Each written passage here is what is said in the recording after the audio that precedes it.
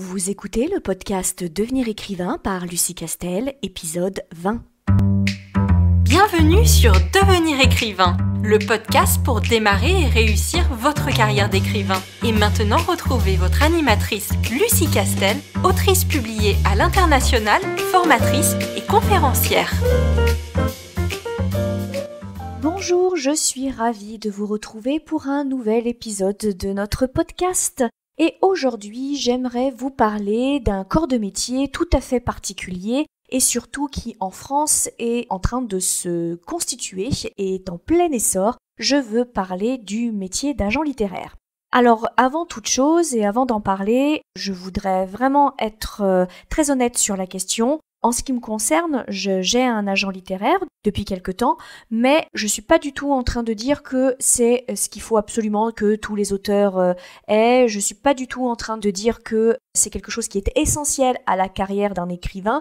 Je veux juste essayer de vous présenter un métier qui est encore assez méconnu et d'être assez honnête sur, euh, sur cette question-là afin que, et c'est vraiment le, le, but de tous les podcasts que euh, nous développons à travers l'Institut des carrières littéraires, c'est de vous donner la connaissance, de vous donner les outils, de vous expliquer en quoi ils consistent.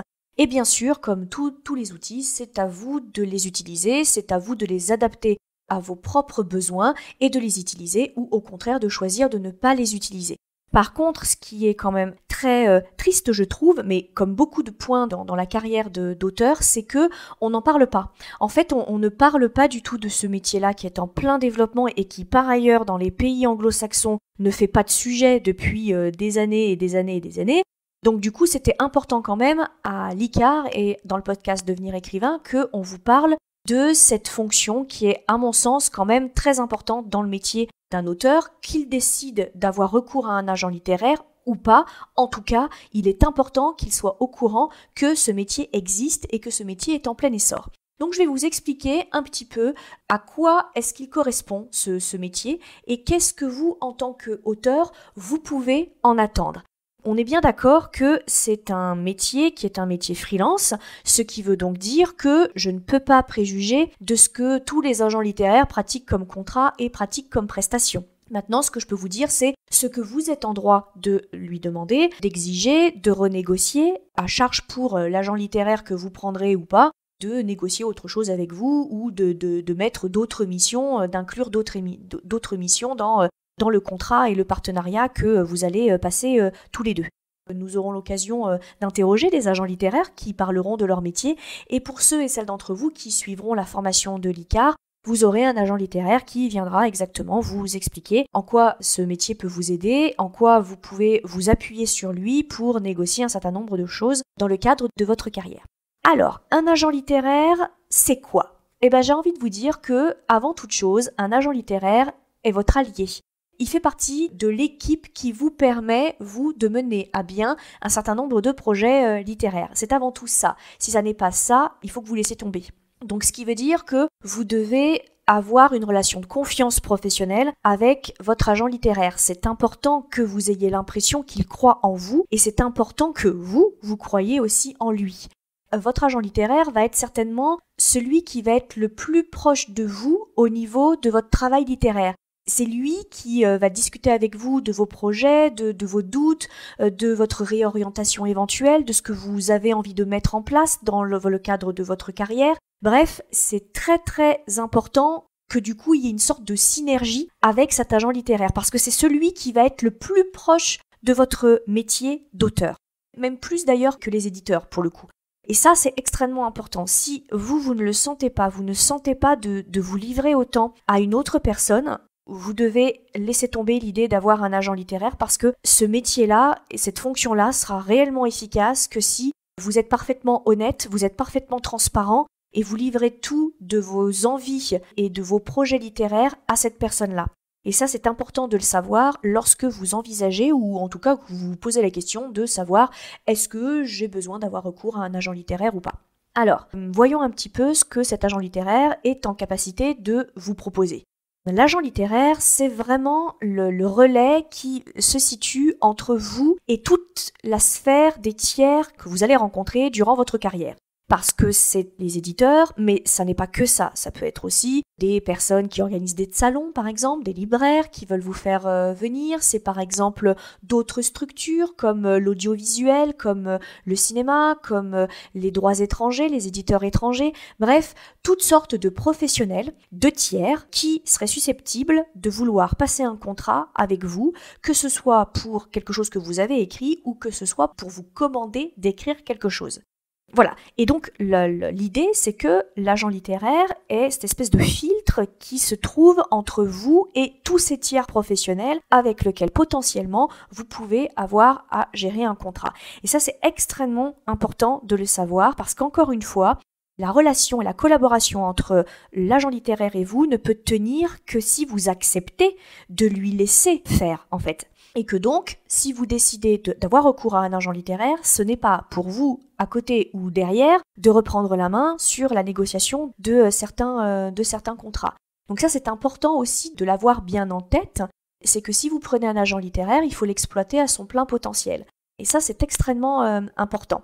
Alors ensuite, au niveau de ce qu'il peut vous apporter, essentiellement, c'est un collaborateur qui connaît très bien le processus d'écriture et surtout toute la chaîne qui va de la création du roman jusqu'à l'exploitation de votre euh, roman sous toutes les formes possibles, que ce soit au niveau audio, que ce soit au niveau euh, du cinéma ou euh, de la télévision, que ce soit au niveau du poche, que ce soit au niveau des éditeurs étrangers, etc. Bref, il a vraiment une, une vision très très très large de ce qu'on peut faire avec un livre et de la manière dont on peut l'exploiter. Et c'est en ça qu'il est important de bien connaître le parcours antérieur professionnel de votre agent littéraire parce que il se doit d'avoir une vision et des contacts et un réseau très très large dans le milieu de, euh, de l'écriture. Plus précisément, ce qui est important quand vous travaillez avec un agent littéraire, c'est qu'il doit penser à votre carrière de façon très globale. Et il est censé penser à des choses auxquelles vous, vous n'êtes pas censé penser. En fait, la difficulté de la carrière d'écrivain, c'est que euh, vous avez déjà évidemment à produire le livre, c'est-à-dire toutes les difficultés dont on parle déjà euh, depuis un certain nombre d'épisodes sur ce podcast, à savoir euh, bah, la narration, le choix du genre, à savoir la cohérence du plan, le travail sur la plume, la gestion du rythme, bref, ce qui fait qu'un auteur est un auteur, qu'un auteur est un auteur professionnel, ça c'est déjà important, ça c'est le cœur de votre travail, mais on, est bien d'accord que ça n'est pas ce qui fait la totalité du métier d'auteur, parce que malheureusement, qui dit métier dit lien avec un tiers, dit contrat, dit négociation, dit rémunération et tout ce qui va avec. Et bien sûr aussi déclaration de, euh, de droit, etc., etc. Donc pour mener à bien une carrière d'écrivain, non seulement il faut travailler sur sa plume, et rien que ça, ça occupe déjà un maximum de, de notre temps, mais aussi travailler notre carrière, c'est-à-dire est-ce qu'il vaut mieux que je signe avec tel éditeur ou est-ce qu'il vaut mieux que je signe avec tel autre, est-ce que je dois changer, est-ce que je dois envisager de faire un autre genre ou au contraire pas du tout, est-ce qu'il est intéressant pour moi de passer par des éditeurs étrangers, est-ce que euh, c'est intéressant pour moi de passer euh, à une mission de euh, prête-plume, est-ce que c'est intéressant pour moi d'élargir un petit peu mon, mon, métier et de ne pas faire que de l'écriture de romans, mais peut-être de l'écriture de scénarii, par exemple. Voilà. Et vous l'aurez donc bien compris, le métier d'écrivain, ça n'est, enfin, ça n'est pas et ça ne s'arrête pas qu'à l'écriture. Et donc, l'avantage et l'intérêt de l'agent littéraire, c'est ce qu'il propose, c'est d'être là en tant que non seulement conseiller, en tant que guide et en tant qu'intermédiaire. En gros, il se charge de toute la partie qui n'est pas strictement l'écriture, et il est à la fois le technicien, c'est-à-dire que lui connaît les éditeurs qui pourraient vous intéresser, il connaît les relais et les tiers qui pourraient euh, convenir à votre écriture ou à votre roman, c'est lui qui va se mettre en relation, c'est lui qui va vendre vos droits, de sorte que il vous laisse vous concentrer uniquement sur l'écriture. Et c'est en ça que on utilise euh, l'agent euh, littéraire. Beaucoup plus dans la, dans, la précision. Il faut savoir que cet agent littéraire, alors bien entendu, encore une fois, hein, ça dépendra euh, ce que chacun vous, vous propose, mais la plupart du temps, il vous propose à la fois d'être un conseil sur votre carrière littéraire dans sa globalité, et qu'est-ce que ça sous-entend? Ça sous-entend un diagnostic éditorial, c'est-à-dire en gros, il lit le projet sur lequel vous êtes en train de travailler et il va vous donner un certain nombre de conseils en vous disant, bah voilà, celui-là, c'est plutôt tel ou tel genre, je le verrai plutôt dans tel ou tel type de maison. Peut-être que si tu accentuais telle ou telle anecdote, si tu accentuais tel ou tel euh, rythme ou que tu changeais telle ou telle chose dans ton roman, on pourrait basculer dans un genre différent et peut-être toucher un autre auteur. On est bien d'accord que il ne fait que des propositions. Son travail, ça n'est pas de vous changer, ça n'est pas de vous faire faire autre chose, mais au contraire de bien connaître votre plume, de bien connaître votre potentiel et de se dire ah ben tiens, je vais lui proposer ça parce que moi je pense qu'il y a quelque chose à faire. Si on tire un petit peu sur cet aspect-là du livre, il y a peut être une autre voie à utiliser ou au contraire, on pourrait accentuer tel autre aspect et demeurer et construire euh, une carrière sur euh, la romcom, la romance, la SF, etc. Donc il est là comme un conseiller en fait et, un conseiller qui va dans votre intérêt évidemment. C'est pas un éditeur. Donc du coup, il a aucun intérêt de vous faire rentrer dans un style éditorial ou d'un autre. Lui, c'est creuser au maximum ce que vous êtes possiblement en capacité de faire et révéler le plein potentiel de votre roman pour qu'après, lui, derrière, il puisse aller le négocier de la meilleure des façons. Donc ne le voyez pas comme un ennemi ou comme quelqu'un qui euh, euh, aurait une vision différente de la vôtre et vous ferait euh, rentrer dans un autre style qui ne serait évidemment pas le vôtre. Mais par contre, il voit des choses parce qu'il est extérieur, parce que c'est un professionnel, il voit des choses que vous vous ne voyez peut-être pas et il vous fait ses propositions à charge évidemment pour vous d'accepter ou non. Je rappelle que l'agent littéraire travaille pour vous. Donc c'est vous le donneur d'ordre. C'est vous qui du coup placez le curseur de votre collaboration. Soit vous lui faites entièrement confiance et vous foncez, parce que vous vous dites qu'il a de bonnes idées et que bah, il travaille pour vous, soit au contraire vous vous dites que non, bah, ça euh, c'est pas une proposition vers laquelle vous voulez euh, aller et vous restez sur, euh, votre intention de, de départ. C'est vous encore une fois qui placez le curseur de votre collaboration. J'attire quand même votre attention que si vous avez fait l'effort d'aller jusqu'à prendre un agent littéraire, c'est qu'a priori vous avez confiance en lui. Donc j'ai envie de vous dire, testez-le au maximum de ses capacités, au maximum de ce qu'il est capable de faire. Et si cela ne vous convient pas, bah vous aurez toujours la possibilité de mettre fin à votre collaboration. Donc ça, c'est une première partie de son travail, qui est le diagnostic éditorial, le conseil, l'orientation éditoriale et littéraire. Il intervient aussi sur ce qu'on appelle la backlist. Ça, c'est en fait tous les romans qui ont déjà été publiés. Donc a priori sur lequel il n'est pas censé intervenir vu que ça a déjà été publié. En réalité, souvent l'agent littéraire vous propose de jeter un petit coup d'œil sur tous vos contrats. D'ailleurs c'est une des premières choses qu'il vous demande. Hein. Il va vous demander euh, de lui donner tous les contrats que vous avez signés avec les maisons d'édition et normalement il est censé faire un diagnostic de ces contrats pour voir quelles seraient encore les marges de manœuvre qu'on pourrait avoir ou est-ce que d'après lui ça vaudrait quand même le coup de négocier à la hausse par rapport aux chiffres que vous avez? Est-ce que ça vaudrait pas le coup de négocier à la hausse certains contrats?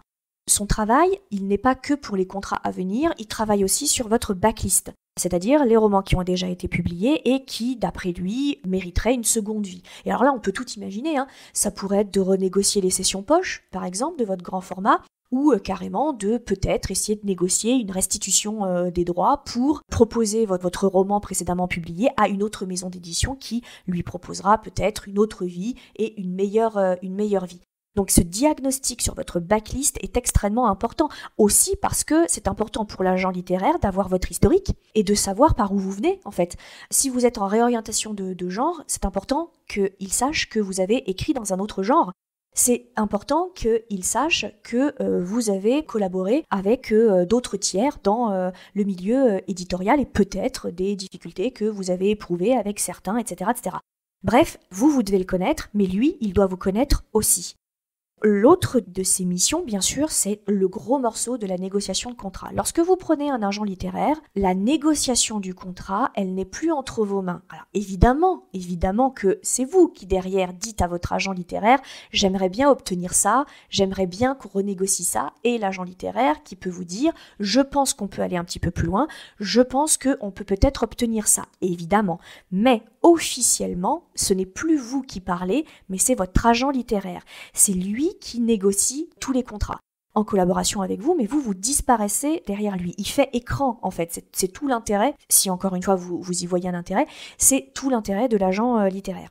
Donc, normalement, votre agent littéraire doit bien connaître, et il faut que vous lui demandiez au départ, il doit bien connaître les droits euh, cession, euh, les droits euh, d'auteur, il doit bien connaître les contrats, qu'est-ce qu'on trouve dans les, dans les contrats, qu'est-ce qu'il est possible de négocier.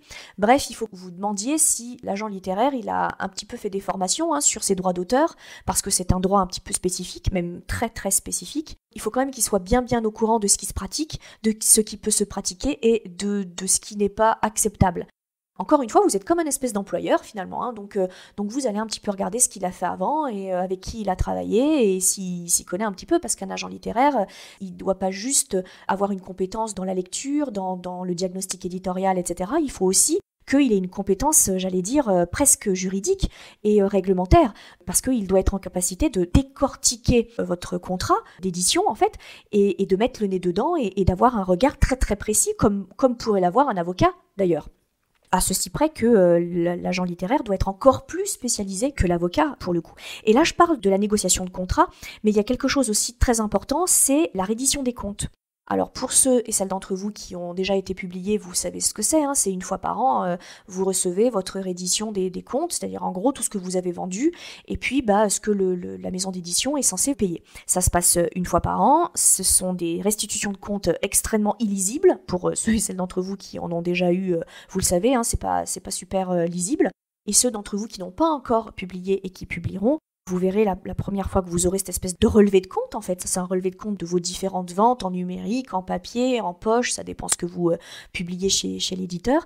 Le pourcentage et ce que vous recevez à la fin avec euh, évidemment euh, retenu, le prélèvement à la source et tout un tas d'autres taxes et divers droits bien sûr, qui fait que ça rend la lecture de ce document un peu compliqué pour ceux et celles d'entre vous, tout comme moi, qui ne sont pas des fous furieux des, euh, chiffres euh, et qui ont même tendance à choper des plaques chaque fois qu'ils euh, voient deux, trois, deux, trois chiffres qui se courent après. Donc évidemment que la compétence de, de l'agent, c'est aussi de récupérer ça et aussi d'avoir un regard très perspicace sur la restitution de ces comptes et de vous en faire un compte rendu en fait. Hein. On est bien d'accord, je ne parle pas des maisons d'édition qui sont malhonnêtes, évidemment, c'est pas la majorité, fort heureusement, mais un couac est très vite arrivé. Les services comptables des maisons d'édition sont pas à l'abri de commettre des erreurs, particulièrement, encore que d'expérience, ça ne veut rien dire, mais particulièrement les petites et moyennes maisons d'édition. Encore une fois, elles sont peut-être pas euh, un comptable super euh, super au point, ou alors peut-être ils démarrent, etc. Donc ce que je veux dire, c'est que ne faites pas confiance euh, de façon totalement aveugle. Et encore une fois, c'est c'est pas du tout une question de malhonnêteté, c'est parfois une simple question de, de quoi qu'on a loupé un calcul de droit, on a loupé une exploitation, bref. Donc, il a aussi cette compétence-là. Euh, il est aussi chargé de suivre les obligations contractuelles de votre contrat d'édition. Parce que c'est bien beau hein, de, d'avoir négocié plein de choses dans votre contrat d'édition, c'est super. Mais si derrière votre maison d'édition oublie ou fait semblant d'avoir oublié, c'est important aussi d'avoir quelqu'un qui s'en rappelle, qui le suive et qui dise Ah ben tiens, là je me souviens qu'on avait négocié la présence à plus de trois salons dans l'année, et là on s'approche de la fin de l'année, et pour l'instant on n'a eu que deux salons. Là, j'interviens aussi sur une, une chose très importante, L'un des, avantages qu'on pourrait dire sur cet agent euh, littéraire, c'est que il est aussi le relais, il est que d'ailleurs le relais entre vous et euh, tous les autres euh, tiers avec lesquels vous allez passer des contrats. Et ce qui est important de savoir, c'est que ça vous permet, vous, enfin moi en tout cas ça m'a libéré, ça vous permet vous, quand vous n'êtes pas content d'un certain nombre de choses qui sont faites par votre éditeur et qui sont pas forcément contractuelles, qui sont pas forcément de nature contractuelle. Donc du coup, bah, vous, vous pouvez pas euh, brandir votre contrat en disant, oulala, là là, vous n'avez pas respecté telle ou telle clause. Parfois, c'est juste une attitude, une façon de faire, des délais qui ne sont pas respectés, une manière de tourner les mails, enfin tout un tas de choses au quotidien, et ça ne vous convient pas. Et le gros avantage, c'est que lorsque ça ne vous convient pas, vous passez par votre agent littéraire. Et donc, c'est l'agent littéraire qui va toquer à la porte de l'éditeur et qui lui dit ça, la façon dont tu, fonctionnes là, ça ne convient pas à mon auteur et il aimerait que, du coup, les, méthodes d'organisation ou les façons de faire changent. Et pourquoi c'est intéressant? Parce que du coup, la discussion houleuse, ce n'est pas vous qui l'avez. C'est votre agent littéraire et l'éditeur. Ce qui fait que quand après, vous allez dans un salon ou vous allez dans une, ou vous allez voir votre éditeur, la relation est, beaucoup plus euh, apaisée parce que ça n'est pas vous qui avez dit les choses, c'est votre agent littéraire. Alors bien sûr, tout ça est un jeu de dupes parce que évidemment l'éditeur n'est pas, idiot, il sait très bien que derrière, c'est pas l'agent littéraire qui s'est réveillé un, matin en disant "Ouh là là, j'ai pas aimé la façon euh, dont euh, les mails ont été envoyés ou la façon dont on m'a répondu à une à une question évidemment."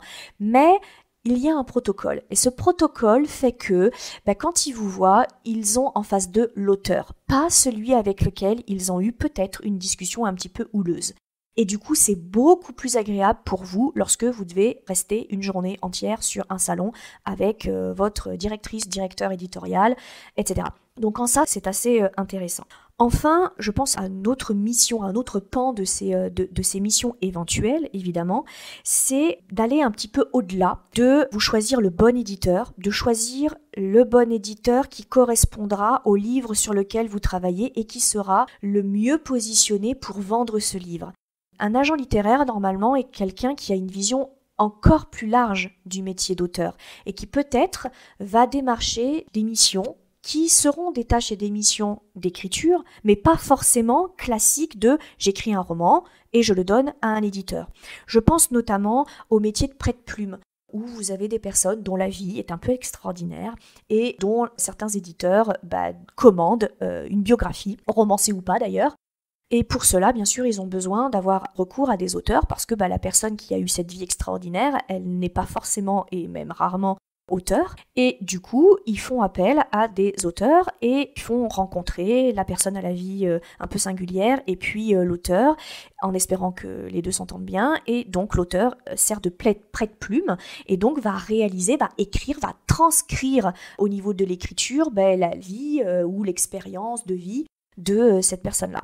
Donc voilà, et ça c'est un, c'est un métier un peu à part dont on ne parle pas forcément beaucoup, mais beaucoup d'auteurs professionnels fonctionne aussi en tant que prête-plume parce que bah, d'abord c'est rémunéré évidemment, c'est un travail d'écriture et ça fait bien partie évidemment de notre métier d'auteur, hein, notre métier d'écrire. Et puis aussi bah, vous touchez un pourcentage hein, chaque fois que euh, le roman est, vendu, tout comme les traducteurs euh, par exemple. C'est par exemple quelqu'un qui va euh, travailler sur d'autres missions encore, je pense notamment à des missions de formation que vous pourriez être amené à faire. Il y a de nombreuses écoles qui euh, régulièrement font euh, des sortes de séminaires d'écriture euh, ou de conférences autour de l'écriture et font appel à des auteurs qui viennent pour une heure, deux heures, une après-midi face à des personnes qui sont intéressées par le travail d'écriture et qui pendant une après-midi ou deux heures vont un peu parler des ressorts de l'écriture, des techniques d'écriture, etc. Donc ça, ça fait aussi partie des missions un peu, un peu à part. Je pense aussi à, à une autre tâche qui peut être intéressante c'est euh, dans le milieu audiovisuel, on fait assez souvent appel à des auteurs pour euh, un travail de scénarisation de certaines histoires ou qui viennent en renfort d'une équipe de scénaristes qui euh, peine à trouver de nouveaux arcs scénaristiques et qui du coup vont faire appel à des script doctors, c'est comme ça qu'on les appelle aux États-Unis, et qui viennent uniquement là, non pas pour scénariser entièrement la série, mais qui euh, viennent uniquement là pour débloquer et proposer des arcs scénaristiques. Et euh, bien sûr, vous pouvez aussi euh, devenir showrunner d'une série où là, vous, faites partie des, scénaristes sur plusieurs saisons ou une saison, etc. Et là aussi, hein, c'est un travail d'écriture, alors qui est un peu différent de, celui d'écrire un roman, mais ça peut aussi faire partie de votre travail. Et ça, tout ça, là, ces métiers à part, ces métiers connexes de votre travail d'écriture de roman, ça vous permet de sécuriser euh, vos revenus financiers, hein, parce que euh, on va pas se mentir et on le dit euh, depuis le début à l'ICAR et sur le podcast Devenir écrivain, c'est compliqué de vivre de sa plume, du fait essentiellement de la façon dont on est rémunéré. encore une fois, je reviens pas là-dessus, j'aurai l'occasion de, revenir. Hein, je suis pas du tout là pour faire le procès des distributeurs ou des éditeurs, mais la configuration de la collaboration entre éditeurs, distributeurs, libraires, producteurs et je ne sais quoi fait que au final, il est très compliqué pour un auteur de vivre de sa plume parce que bah, euh, vendre un livre de cette façon n'est pas très rentable, sauf si vous vendez énormément. Et ça n'est pas la majorité des auteurs. Et ça n'est pas de leur faute, hein. c'est qu'il y a énormément d'auteurs qui sortent, énormément de livres qui sortent et que le marché n'est pas extensible malheureusement. Donc voilà, et ça peut vous permettre, lorsque vous allez vers ces autres missions, ces, ces autres métiers qui restent de l'écriture mais qui sont un peu à part, ça peut vous permettre d'assurer un revenu financier qui peut vous faire vivre de euh, votre plume. Ça, c'est essentiellement ce que vous pouvez, ce que vous êtes en droit d'attendre d'un agent littéraire. Et j'ai envie de vous dire, s'il ne vous propose pas au moins tout ça, ça n'est pas la peine d'avoir recours à un agent littéraire. Pourquoi? Parce que bah, on va aborder la question qui fâche, qui est que euh, cet agent, il, touche une commission. Évidemment, il ne travaille pas pour rien. Alors encore une fois, c'est un métier freelance, donc du coup, les tarifs varient selon ce que vous mettez en place avec lui et selon aussi ce qu'il vous propose, parce qu'il peut peut-être euh, vous proposer de morceler certaines de ses missions. Par exemple, vous pouvez peut-être faire appel à un agent littéraire uniquement pour euh, gérer la question de votre backlist ou peut-être uniquement pour gérer votre changement de maison d'édition, par exemple ou parce que vous avez écrit un roman complètement à part de ce que vous faites d'habitude et vous ne savez pas trop quoi en faire parce que bah, vous ne connaissez pas les maisons d'édition, vous n'avez pas de, lien, vous n'avez pas de réseau. Donc vous faites appel à cet agent littéraire pour qu'il intervienne ponctuellement sur cette négociation très précise. Et là, évidemment, il va moduler les droits qu'il prend sur euh, les actions qu'il va faire pour vous. Alors évidemment, la plupart du temps, les, agents littéraires vont quand même essayer, et c'est normal, de, travailler sur le long terme avec vous. Mais encore une fois, euh, il peut intervenir de façon totalement euh, anecdotique. Pour vous donner une idée, encore une fois, c'est chaque agent littéraire qui négocie avec euh, son auteur, mais pour vous donner une idée, ça peut aller de 10 à 30% sur les contrats qu'il cède, les droits qu'il cède et l'exploitation de vos livres. En gros, il touche une commission sur la signature du contrat et les avaloirs que vous allez toucher et sur chaque livre que vous allez vendre évidemment. Alors pourquoi un tel écart entre 10 ou, euh, ou 30% Parce que cela dépend aussi des droits qu'il cède. Vous avez les droits qu'il cède dans un contrat principal, hein, euh, avec euh, les droits classiques de reproduction, droit poche, droit club en format, euh, etc. Les droits d'adaptation, bande dessinée, roman photo, les droits de représentation, hein, lecture, représentation publique, etc. Les droits numériques, e-book, livre audio, etc., etc. Et puis vous avez la session étrangère des droits de traduction qui est un peu spécifique et qui du coup a un pourcentage la plupart du temps qui est euh, spécifique. Et puis vous avez aussi la session étrangère des droits audiovisuels et ça aussi c'est à part avec un contrat à part. Donc c'est ce qui explique que vous avez un panel de pourcentage qui est euh, différent. Et ça, ça se regarde euh, dans, ces différents contrats. Est-ce que vous acceptez ou pas qu'ils représentent et qu'ils prennent évidemment en charge.